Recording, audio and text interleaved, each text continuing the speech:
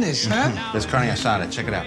Wow. Chef Big Dog up all night cooking. Shut up and taste this, um, amuse-bouche. Come here. Look at that. You like it? Yeah. We're gonna cook like this. We're being reviewed by the most important critic in the city. Now suddenly you're going to be an artist. Well, be an artist on your own time. It's my restaurant. The kitchen is my domain. That was our deal. The deal is now changed. Either you stay or you go. So you're threatening to fire me now? No, I'm telling you what I'm prepared to do if you don't cook my menu. It's up. It's up. The review's out. His dramatic weight gain can only be explained by the fact that he must be eating all the food sent back to the kitchen. You didn't like what they wrote about you? I didn't like it either.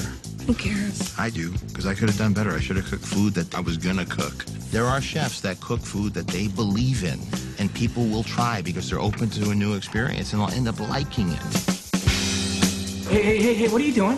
This don't guy. do it. What are you, what are you writing? Chef, don't. That's not a good I said, idea. just listen. I won't send it until we all say it's okay. Why don't you come by again tonight? I got a whole new menu just for you, asshole. Oh, no, no. That's give not the- good. Give me the That's not a phone. good. Give me the Don't- phone. Don't do it. That's out there now, bro. It happens. Why would you do You that? can't take that back.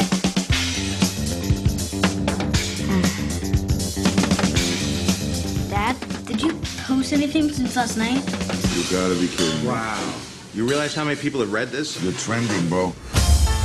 You're never going to be happy cooking for someone else. Food truck's a great idea. We're talking about a white on white 88 Chevy Grumman food truck. It's a blank canvas for your dreams. I'm gonna have him pull it around. Thank you. Don't thank me till you see it. So what are you gonna do? You're gonna laugh. Tony, Carl's got a taco truck. For real? I was so jealous when I heard your voice. I was like, that's what I want to do.